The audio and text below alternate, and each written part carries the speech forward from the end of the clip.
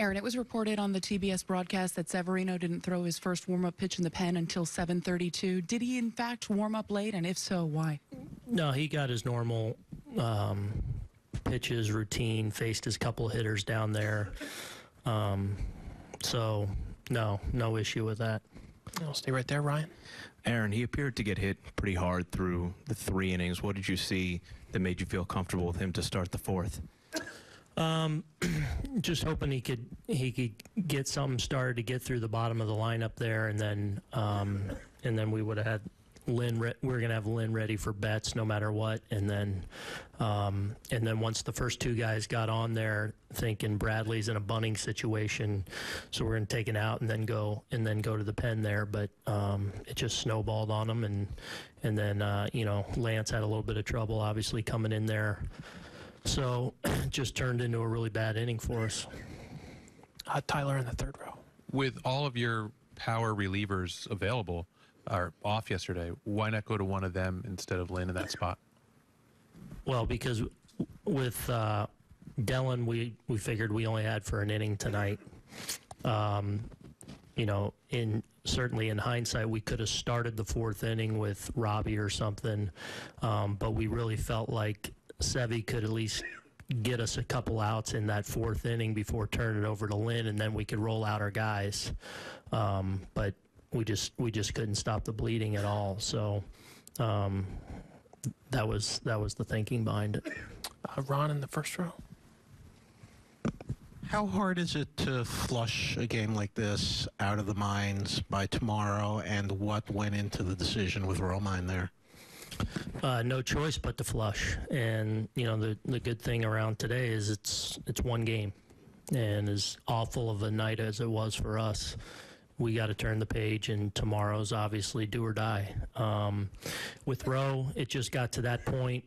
You know, obviously you hate doing something like that, um, but we just felt like, you know, not wanting to use Robbie, Britton, Dellin, or Chappie in that spot, knowing that, you know, we're going to want them all potentially f- up to a couple innings tomorrow if we needed. So uh, that that's what went into that.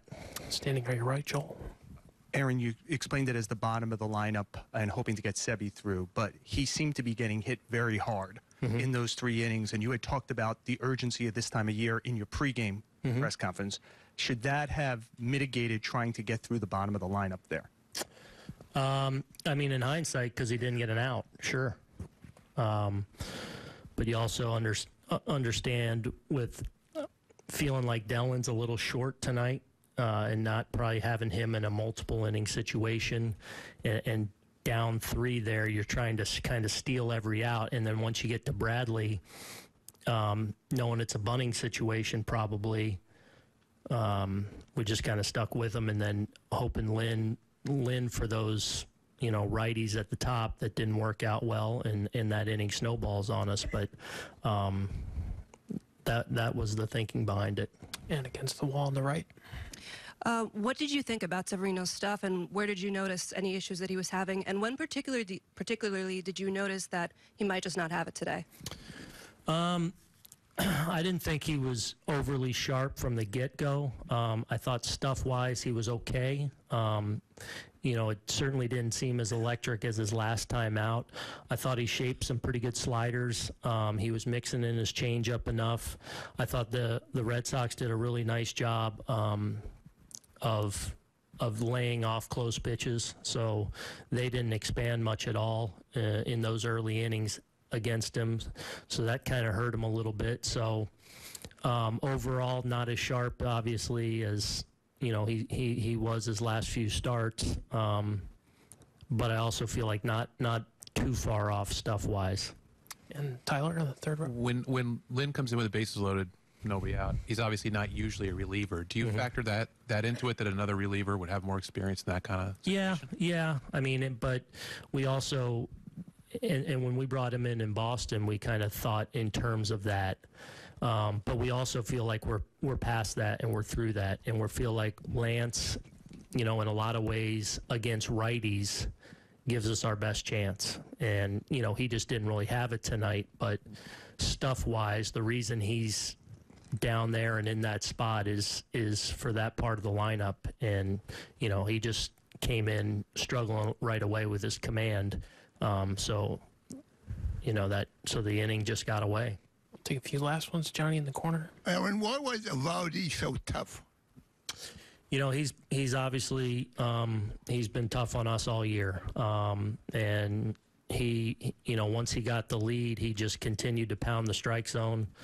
Um, you know, the cutter was a factor. He he mixed in some breaking balls and some splits, but um, was able to locate and elevate his his four seam fastball. It seemed like he mixed in some two seamers as well, which isn't something he does a lot of. It seemed like that anyway from from the side, but you know, he once again was was an issue for us. I'll take two last ones, Mark. Aaron, in the start of the fourth inning, the first two guys reach a base against Severino. I don't think he had a guy up until after that second hit. Was just wondering why he waited until Lynn was up, I I think he was up actually after the first bat, the first pitch. right, and he was up bef- the inning before we were getting him ready Like we're- too. So we didn't feel like um, we were just for the, through the bottom of the order. We the matchup we wanted was Lynn through the top uh, w- against the righties. So you know.